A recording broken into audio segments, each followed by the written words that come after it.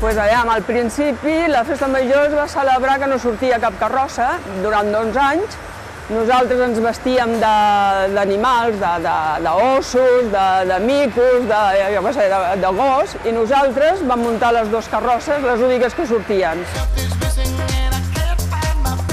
De gel, ens ho fem naltros tot. La roba, eh, som l'única, eh? La roba ens la fem naltros.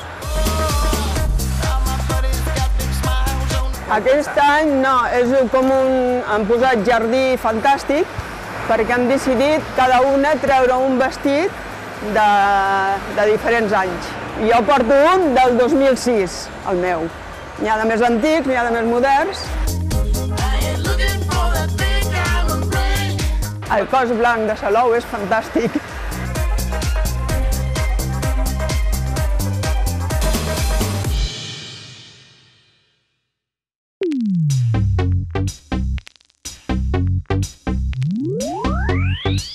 Actualmente somos unas 70 personas, ¿no? Sí.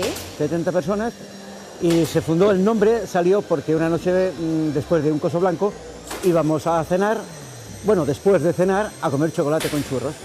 Y hubo un señor que en vez de chocolate no lo sabía decir, decía chucurrate, chucurrate, Chocolate con churros. chucurrate con churros.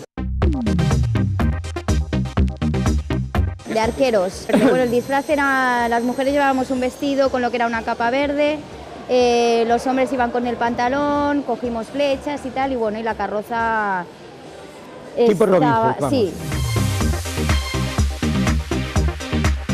Este año el disfraz es un disfraz muy colorido, muy bonito, vamos de sombrereros y bueno, estamos intentando hacer un gorro en la carroza grande para que se vea vistoso y un poquito el tema de Alicia en el País de las Maravillas, que más o menos es de lo que...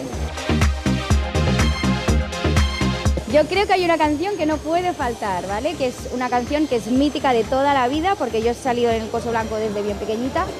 Y hay una canción que es la del ritmo de la noche, que ha salido siempre y creo que a día de hoy debería seguir saliendo. El Coso Blanco es algo... Impresionante. Impresionante, es que Hay que venir a no hay palabras.